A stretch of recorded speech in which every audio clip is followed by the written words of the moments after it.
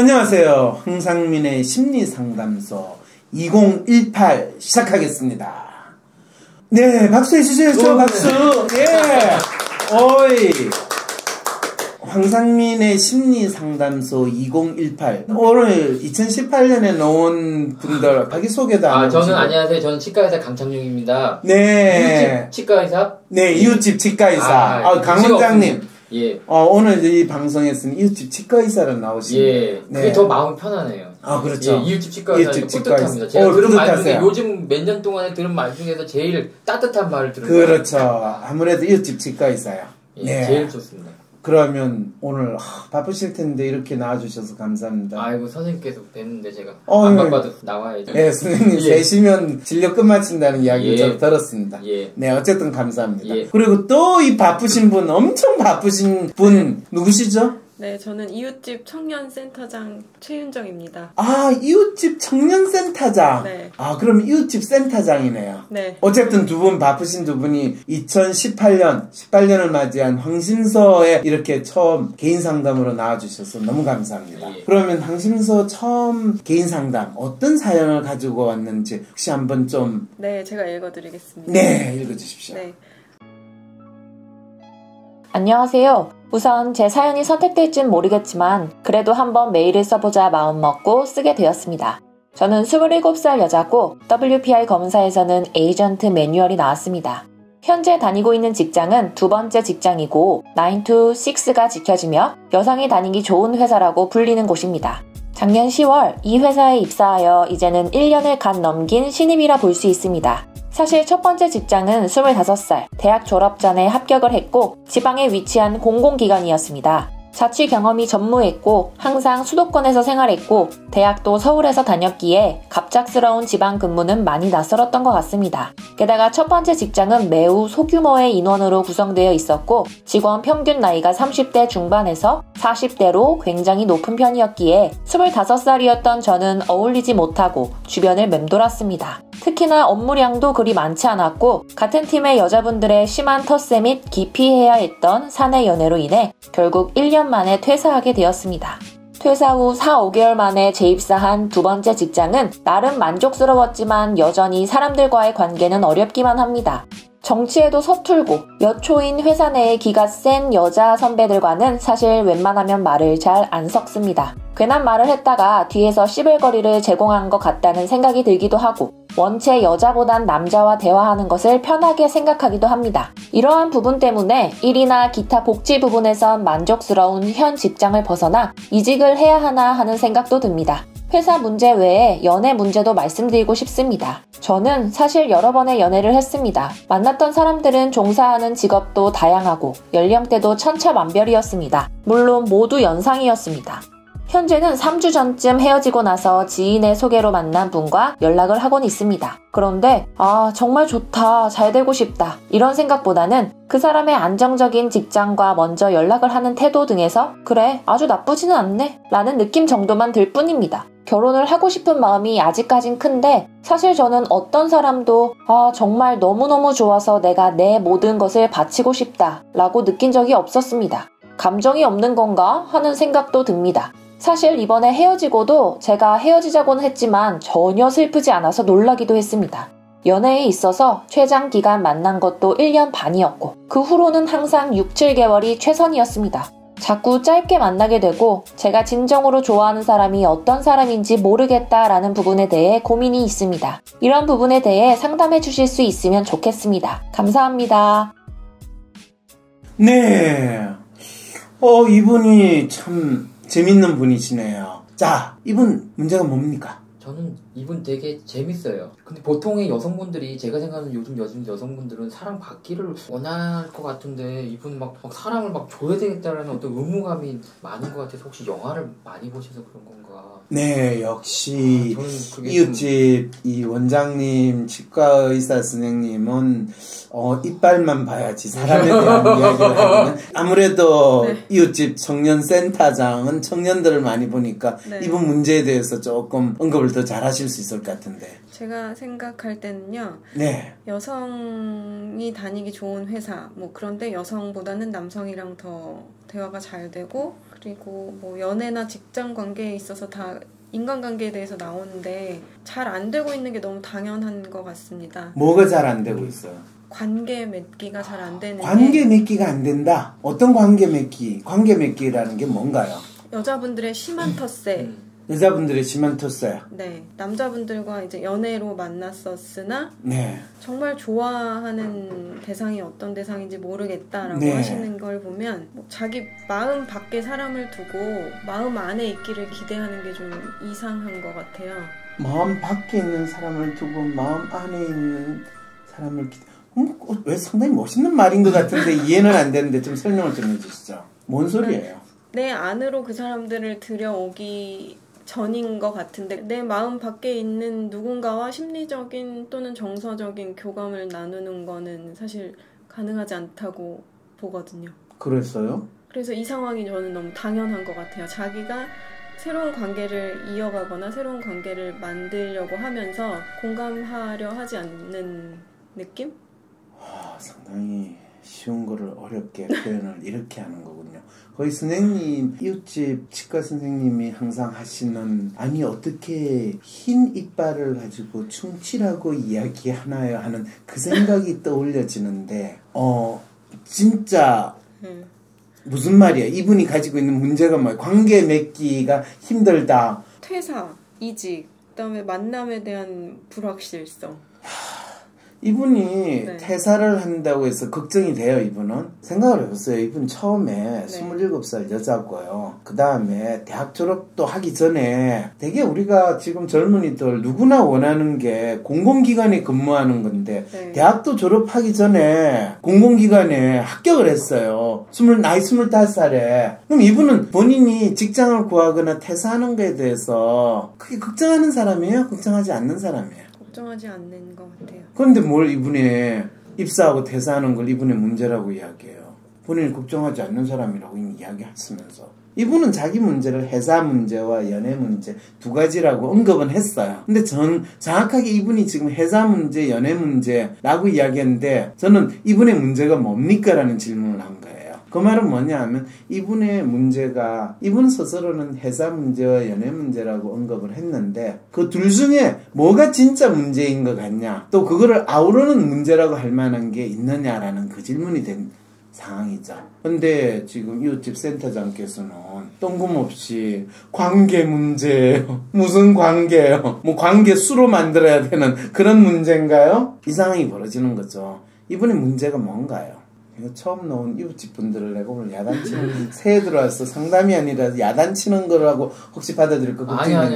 야 지금 지금 전 집중하고 있는 그렇죠. 거예요. 너무나 명확하게 보이는 문제인 것 같은데 그렇죠, 갑자기 그렇죠. 문제가 뭐냐 그러니까 당황스러우실 거예요. 이분 어, 회사 문제, 연애 문제 두 가지 문제를 언급했는데 이분이 진짜 묻고 싶은 거는 본인 연애 문제예요. 연애 문제일 뿐만 아니라 그 안에서 진짜 알고 싶은 거는 자기가 결혼을 하고 싶어요. 재밌는 거는 나이 27살인데요. 본인이 결혼하고 싶은 마음이 아직은 큰데예요. 그렇다면 이분은 아마 나이 25살부터 자기가 언제쯤 결혼하는 게 맞을까 고민을 하고 또 결혼할 대상자들을 열심히 나름대로 소개도 받고 나름대로 평가를 했다는 거예요. 그게 이 사연에서 이분이 묻고 싶은 가장 일차적인 일이에요. 자, 그런데 재밌는 거는 사실 저는 어떤 사람도 이 정말 너무너무 좋아서 내가 내 모든 것을 바치고 싶다고 느낀 적이 없습니다라고 이야기를 하는 거예요. 결혼을 하는데 이 사람이 사실 여러 번 연애도 했어요. 그렇기 때문에 본인이 연애 문제가 아니에요. 여러 번 연애를 했는데 그 사람 중에 어떤 사람하고 결혼하는 게 내가 결혼을 잘했다라는 확인을 받고 싶은 거예요. 근데 이분은 어떤 사람하고 연애를 했을까요? 타인이 봐서 괜찮아 보이는 사람을 소개를 받았을 것 같고요. 본인이 봐도 괜찮아 보이는 사람하고 소개를 받아요. 그 말은 이분은 나름대로 능력 있고 괜찮아 보이는 사람하고 소개를 받겠죠. 왜 그럴까요? 소개를 괜찮은 사람 소개를 받을까? 괜찮은 사람이라고 생각하고 있으니까. 그런 생각도 있지만 더 네. 중요하게 다른 사람이 보기에 이분이 괜찮은 사람이 아니에요. 괜찮은 사람이에요. 왜 괜찮은 사람이에요? 대학 졸업 전에 공공기관에 합격을 하고 자기가 생각하는 성장을 해온 것 같아요. 그렇죠. 소위 말해서 능력 된다는 거예요. 그리고 미모는 될까요, 안 될까요? 될 것 같아요. 왜요? 여자들이 되게 싫어하는 거. 취해서 아. 그러니까 너무 이쁘고 잘 나가는 거 아니에요 혹시? 이제 아시겠죠? 벌써 그 내용을 다 이야기한 거예요. 더 놀라운 거는요, 이 처음 들어가는 직장에서 직원 평균 나이가 30대 중반에서 40대로 굉장히 높은 편이기에 25살 저는 어울리지 못하고 주변을 맴돌았습니다. 어, 그런데 또 불구하고 사내 연애를 했다는 거예요. 그러면 그 조직에서 공공기관에서 얼마나 잘 나가는 킹카였는지 이미 그 사람하고 사내 연애를 했다는 거예요. 그래서 그냥 사내 연애하다가 1년 만에 퇴사를 한 거예요. 자, 그런데 또 4, 5, 개월 만에 재입사한 두 번째 직장도 공공기관 이상으로 괜찮은, 야 이런 분들을 뭐라고 보통 그러는지 아세요? 이 같은 여성의 입장으로서 뭔가 느낌이 오지 않아요? 능력자죠. 야, 그걸 능력자라기보다는 거의 신의 딸이에요, 이거는. 신딸. 아, 이렇게 이야기하면 뭐 이분은 우리 아버지도 뭐 크게 별 볼일 없고 우리 엄마도 별 볼 일 없고 저도 뭐 소박하게 뭐 이렇게 표현할 수 있을 거예요. 근데 이런 정도의 스펙으로 이런 정도의 경력을 경험한 청년 주위에서 본 적 있어요? 이 청년? 정도까지는 아닌 것 같아요. 그렇죠. 네. 이 정도 사람 보기 쉽지 않아요. 자, 이런 친구가 지금 자기가 결혼할 마음도 큰데 어떤 사람을 만났냐? 만났던 사람들은 종사한 직업도 자영하고 연령대도 천차만별이고 물론 모두 연상이었다는 거야. 그리고 현재는 3주 전에 헤어지고 나서 또 다른 분을 만났다는 거야. 이건 어떤 상황이에요? 지금 이분한테 소위 말해서 속에 줄이 줄 서 있다는 거죠. 네. 이분 지금 결혼정보센터를 통해서 만나고 지금 소개받겠어요? 아니면 그냥 줄 쓴 대로 본인이 계속 체크하고 있는 중이라는 것이에요. 체크하고 있는 중. 그렇죠? 네. 이웃집 센터장. 네. 본인도 20대에 이렇다라는 거 본인도 주장할 수 있겠죠? 그죠? 네. 본인도 그랬죠? 네. 네. 그랬을 때 이분의 문제는 뭐가 있느냐 하면요. 어떤 사람을 만나도 이분은요. 아, 이 사람 너무 좋다. 내 마음이 떨려. 그런 사람 이분 만날 수 있을까요? 없을까요? 제 경험으로는 없었어요.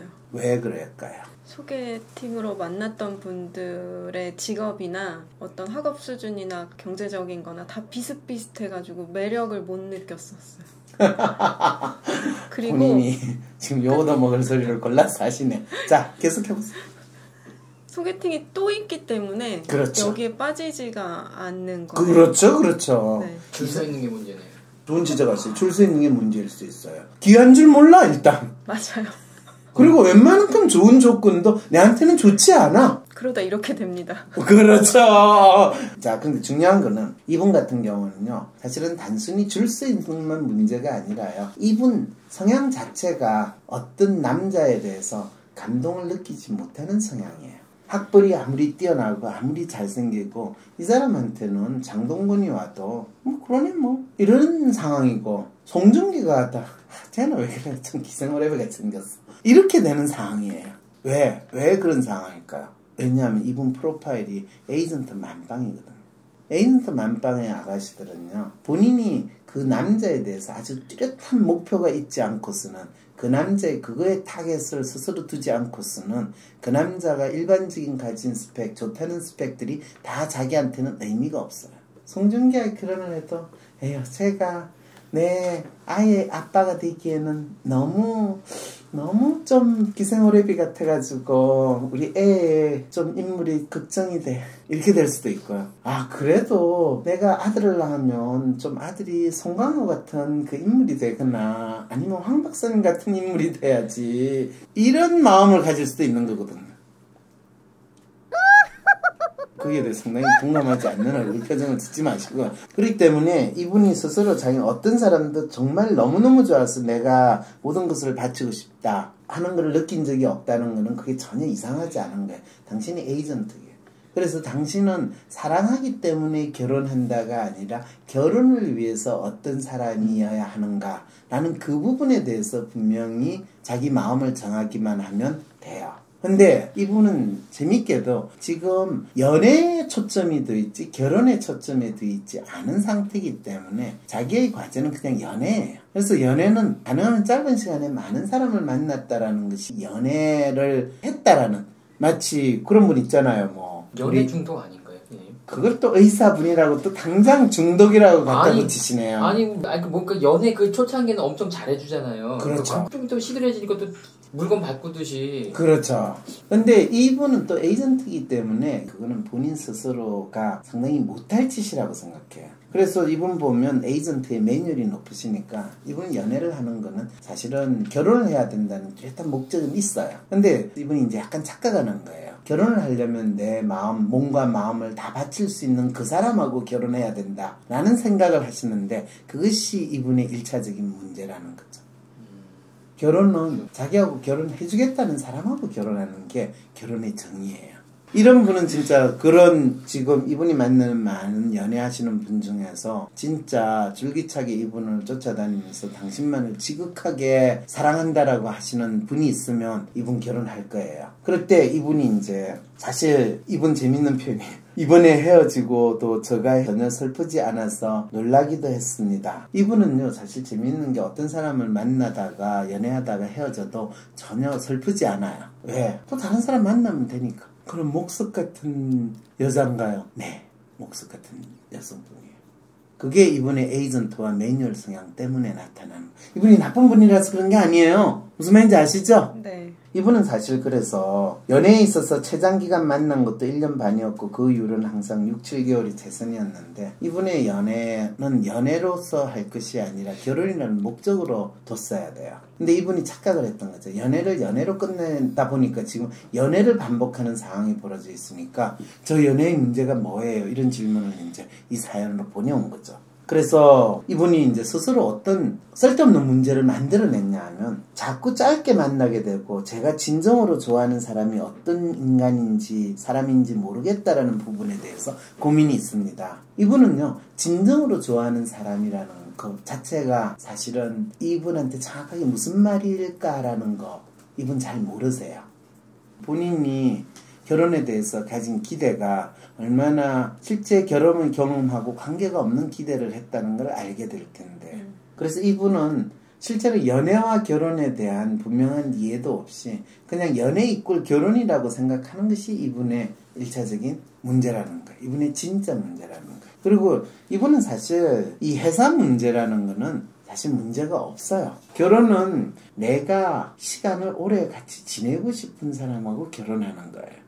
많은 사람들이 결혼을 뭔가 영혼을 준다는데 그건 죽는 거예요. 그래서 사람들마다 이제 결혼을 하려면 어떤 사람하고 결혼해야 되느냐라고 하는 게 로맨티스트는 오래 같이 지나면서 자기 감성을 공유할 수 있는 사람 idealist는 오래 같이 지내면서 자기 생각을 공유할 수 있는 사람 휴머니스트는 오래 같이 지내면서 즐겁게 지낼 수 있는 사람 리얼리스트는 오래 같이 지내면서 행복하다고 돈을 같이 벌 수 있는 사람. 에이전트는 오래 같이 지내면서 일을 같이 할 수 있는 사람. 그 일이라는 건 돈 버는 일이 될 수도 있고, 집 사는 일일 수도 있고, 차 사는 일일 수도 있고, 자식 키우는 일일 수도 있고. 이게 이제 에이전트가 결혼의 대상이 되는 거예요. 그랬을 때 이분 같은 경우에 오래 같이 지내면서 집도 사고 차도 사고 애도 같이 키울 수 있는 사람 그 사람이 이 사람의 결혼 대상자가 되는 거죠.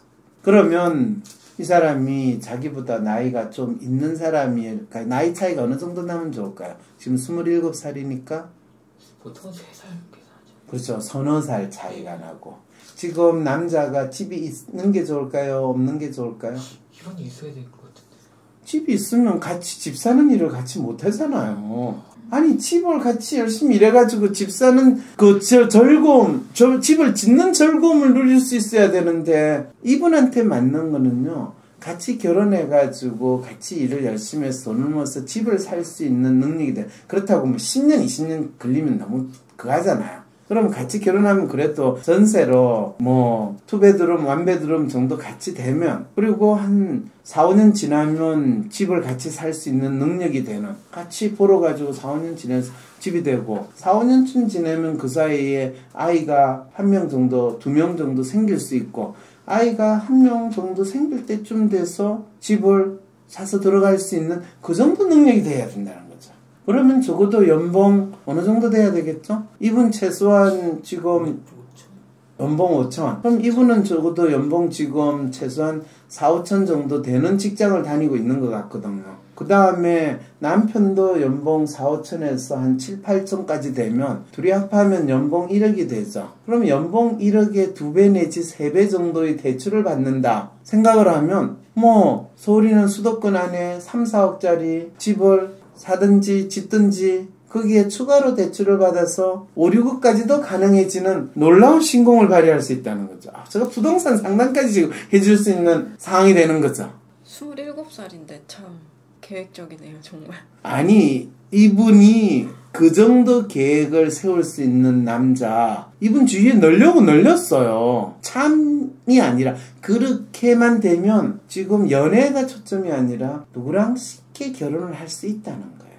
중요한 거는 이분이 자기가 그 계획을 그 남자를 통해 가지고 설정을 할 수만 있으면 결혼을 그냥 하실 수 있다는 거죠. 내일이라도 당장. 근데 이분 스스로가 자기가 결혼을 연애를 하는 대상자로만 생각을 했지 그 사람과 결혼을 하게 되면 내가 이 사람한테 이것을 이런 과제를 달성한다라는 그 생각으로 넘어가지를 않았다는 거죠. 왜? 왜 그 생각으로 넘어가지 않았을까요? 남자 쪽에서 먼저 그런 내용을 보여줬다면 여자가 마음을 오래 갈 수 있었을 것 같은데. 음, 남자 쪽에서 글쎄요. 남자도 힘들었지 않았을까요? 남자 분은 사실은 힘들다기보다는 상당히 좀 당혹스러웠을 거예요. 왜냐하면 이분이 능력 있는 여자인데다가 사회적으로 그 다음에 상당히 웬만큼 미모도 되거든요. 그리고 자기하고 연애를 하면서 조금 갸웃갸웃하는 느낌이 들어요. 이런 분들은 왜 그런지 아세요? 날 좋아하나 안 좋아하나 어 그렇죠. 그런 생각도 있고요. 남자 입장에서는요. 아빠 아빠 뭐 이런다든지 또 그 오빠를 위해서 막 헌신하는 듯이 막 3단 이 도시락 뭐 이렇게 싸가지고 뭐 놀이공원 가서 나 잡아봐라 뭐 이런 거 비슷하게 하려고는 하는데 그런 느낌까지는 잘 안 들거든요. 그리고 상당히 딱 약속 시간 정하고 뭐 하고 하는 거 나름대로 깍듯하게 하는데 뭔가가 2% 부족한 느낌을 남자가 느껴요. 이 에이전트 여성하고 연애를 할 때는.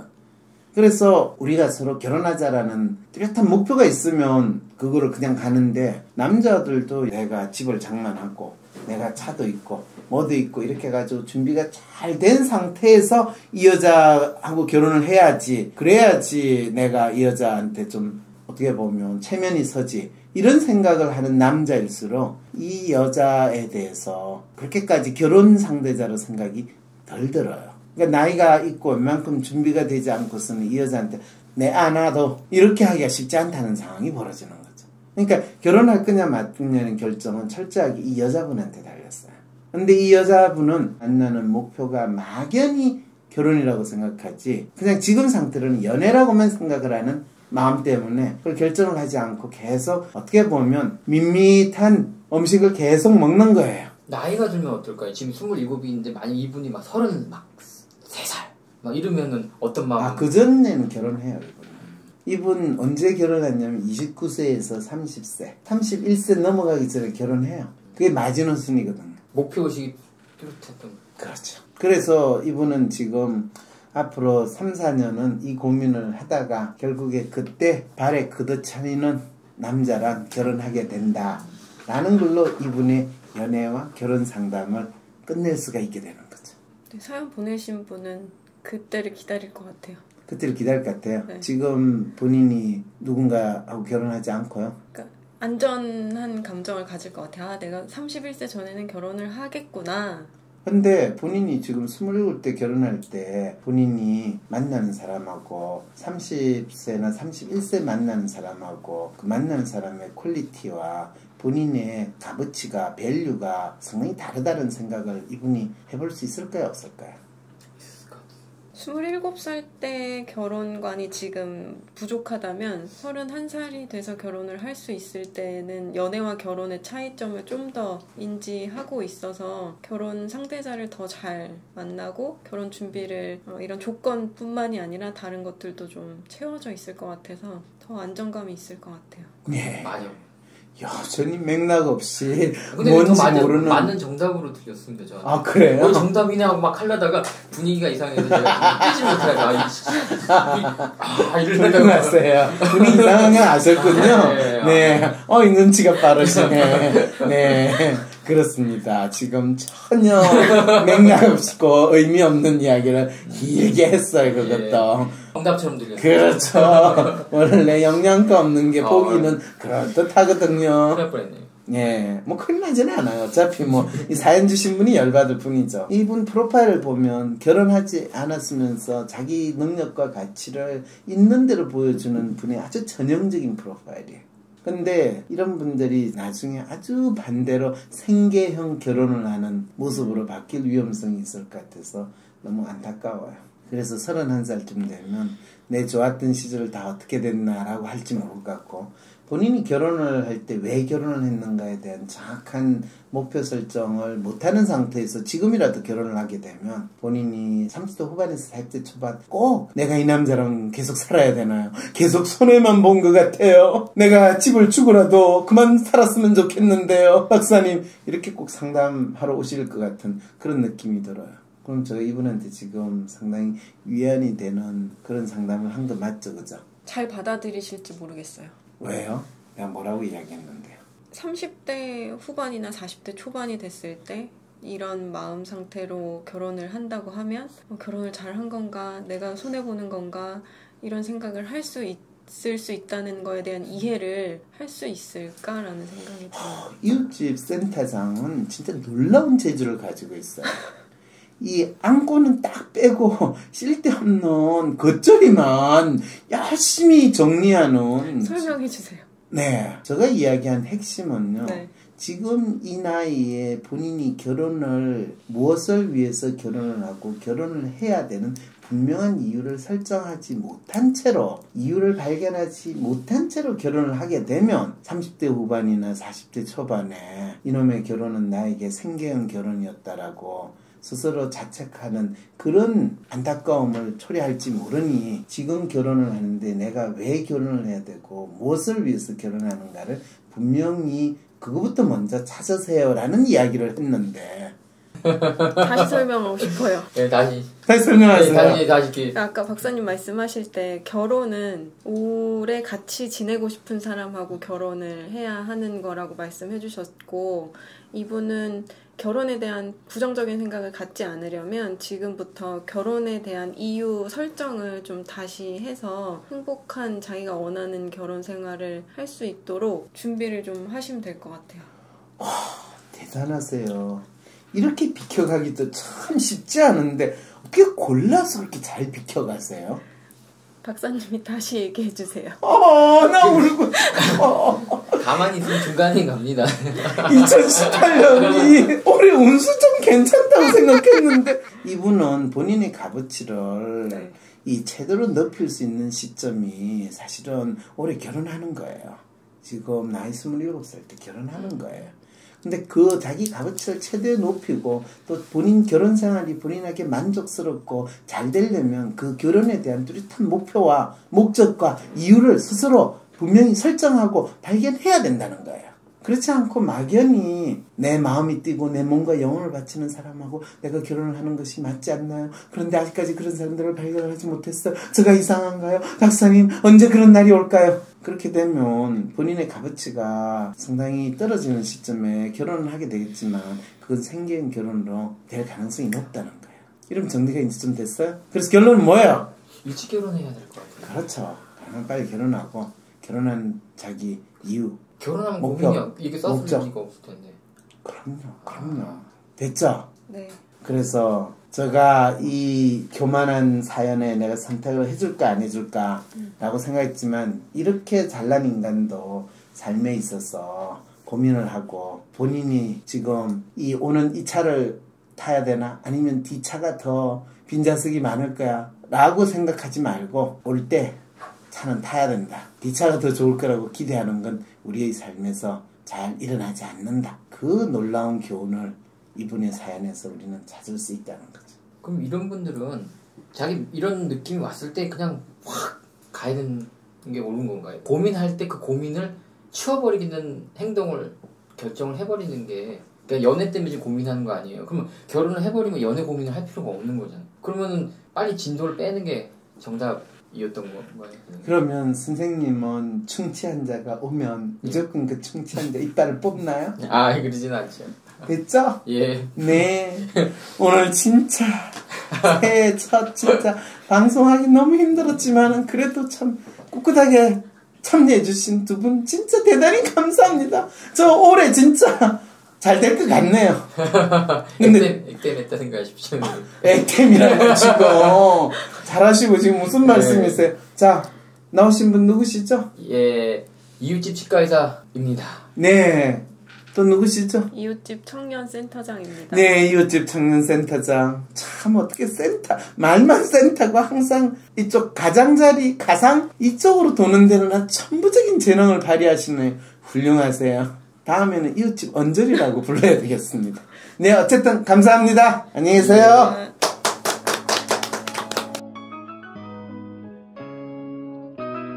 이 세상에 똑같은 지문을 가진 사람은 없습니다. 얼굴이 똑같이 생긴 일란성 쌍둥이도 지문은 다르게 생겼다고 하는데요. 그러니까 이 세상에 60억 명의 사람이 있다면 60억 개의 지문이 있는 거죠. 사람의 마음도 이 지문과 같아서 60억 명의 사람이 있다면 60억 개의 마음이 있고 이 마음의 생김새 역시 모두 다릅니다. 황심소는 그동안 마치 거울로 얼굴을 보듯이 여러분 마음의 생김새를 정확히 보실 수 있도록 노력해왔습니다. 그리고 그 마음을 고치거나 바꾸는 대신 생긴 대로 살아도 나답게 잘 살 수 있도록 도왔습니다. 그리고 이제 여러분께서 황심소를 함께 만들어 주셔야 할 때입니다. 그동안 황심소는 순수하게 여러분의 후원으로 만들어 왔는데요. 더 나은 방송을 만들기 위해서 더 많은 도움이 필요합니다. 한 달에 만 원, 인생을 바꿀 통찰을 얻어보세요. 황심소 후원은 네이버에 황심소 골뱅이로 검색하면 하실 수 있습니다. 여러분의 소중한 후원, 더 좋은 방송으로 돌려드리겠습니다.